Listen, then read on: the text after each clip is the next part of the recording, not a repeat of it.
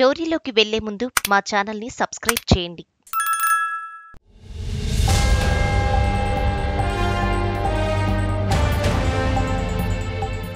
Tea కాంగ్రెస్లో కల్లోలం మరో ఆరు మాసాల్లో ఎన్నికలు కిమ్ కర్తవ్యం.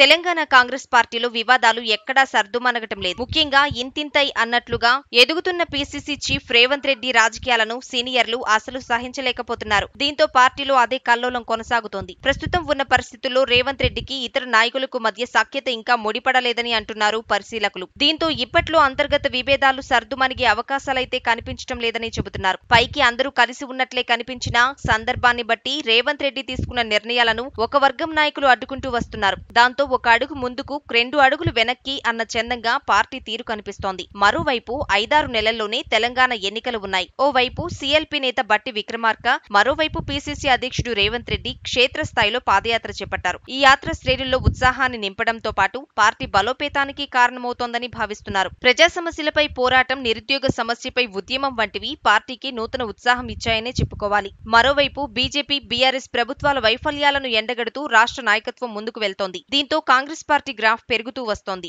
రాష్ట్రంలో కాంగ్రెస్కు ప్రజల నుంచి ఆదరణ లభిస్తున్నా నాయకుల మధ్య సఖ్యత లేకపోవటం అంతర్గత కుమ్ములాటలు పార్టీలో కంట్లో నలుసులా మారాయి. నిరుద్యోగ నిరసన కార్యక్రమాలను చేపడుతున్నట్లు పీసీసీ అధ్యక్షుడు రేవంత్ రెడ్డి రెండు రోజుల కిందట ప్రకటించారు. రాష్ట్ర వ్యవహారాల ఇన్ఛార్జ్ మాణిక్రావు ఠాక్రేతో చర్చించిన తర్వాత ప్రకటన చేశారు. అయినప్పటికీ స్థానిక నాయకత్వానికి సమాచారం ఇవ్వకపోవడంతో పీసీసీ ప్రకటనపై పార్టీలో విమర్శలు వస్తున్నాయి. ఇప్పటికే నల్గొండ మహాత్మాగాంధీ విశ్వవిద్యాలయంలో ఇరవై ఒకటవ తేదీన నిర్వహించనున్న నిరుద్యోగ నిరసన కార్యక్రమంపై నల్గొండ భువనగిరి ఎంపీలు ఉత్తమ్ కుమార్ రెడ్డి కోమటిరెడ్డి వెంకటరెడ్డి అభ్యంతరం వ్యక్తం చేశారు. ఇది తాజాదే అయినా ఇలాంటివి చాలానే ఉన్నాయని పరిశీలకులు చెబుతున్నారు. మరి ఎన్నికల నాటికైనా ఇవి సర్దుకుంటాయో లేదో చూడాలి.